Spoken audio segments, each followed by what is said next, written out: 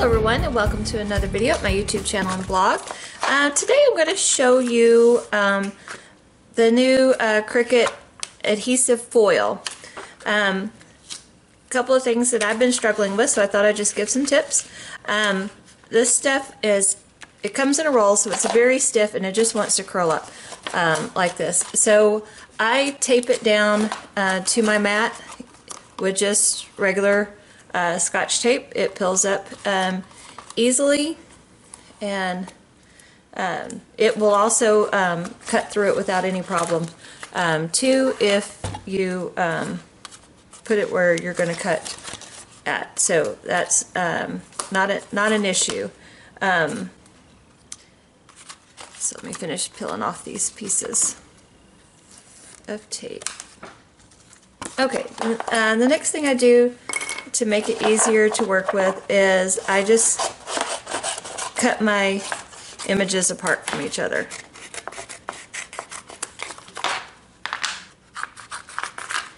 Okay. Now let's just work with one. So, this is the hardest part, is separating the liner from the material.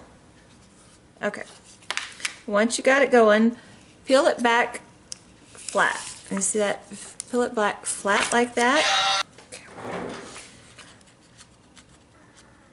Alright, as I was saying before my phone rang, peel it back flat.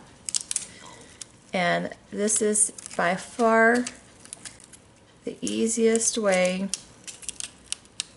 to get it to come out and leave what you want there.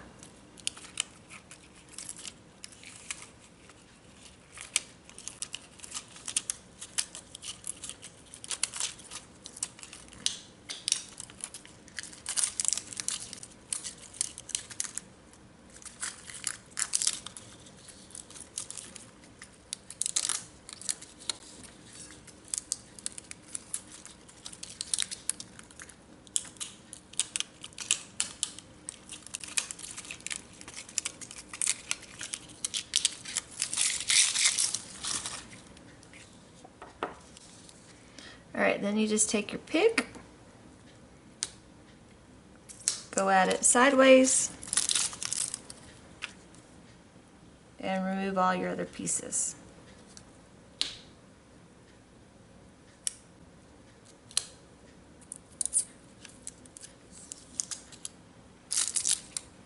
This definitely does take practice.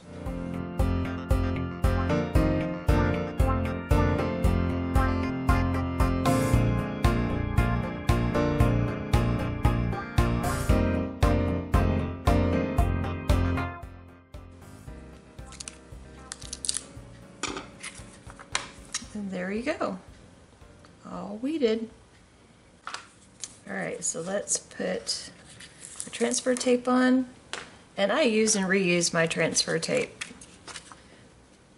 I probably use the same piece 10 times or more before I uh, toss it out.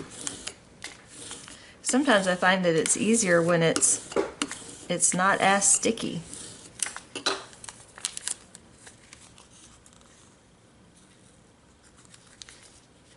And again, on this part, peel it back flat.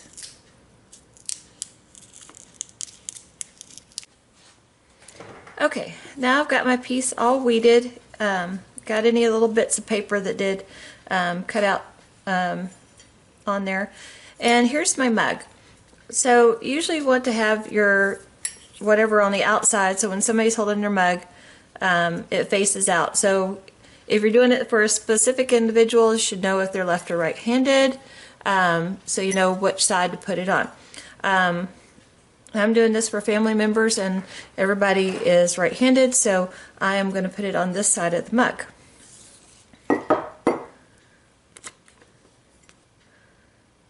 So, let's see. I'm Just going to use a block to kind of hold up that handle.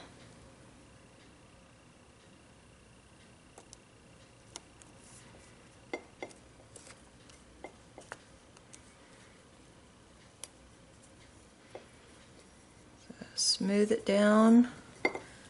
Go from one side to the other. And then take your scraping tool and really rub over everything hard.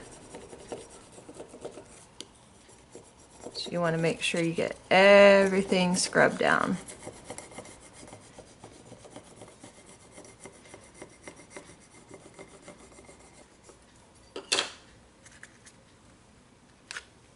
Alright, and then again, you're going to just peel it back um, flat, and if you have something that comes up, put it down and burnish it some more.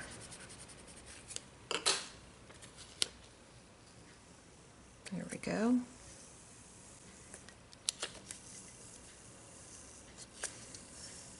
And here's where I think if your um, transfer tape is not as sticky, comes in really handy.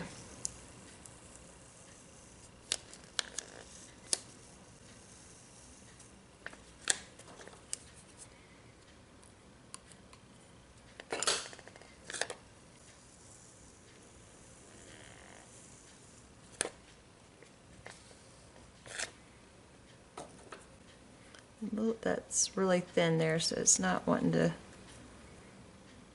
come off so we're just going to help it a little bit go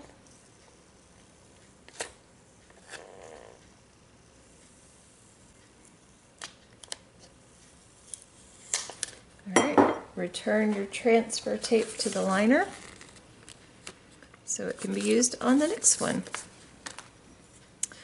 So there you go. And you probably want to go back over and mash down on everything once again. But that's looking pretty good. I'm liking it. I hope my relatives like this for Christmas.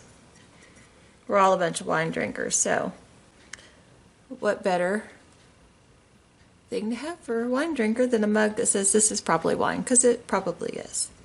Oh, um, one other thing I wanted to tell you about the foil when you're cutting it, um, be sure and set your machine on custom and go to the menu because there is uh, a specific setting for the um, foil, adhesive foil uh, product. So um, be sure you uh, do that and don't just set it on vinyl. Uh, it will cut better on the uh, on its correct setting. So there you go. Thanks for watching and I hope you enjoyed this.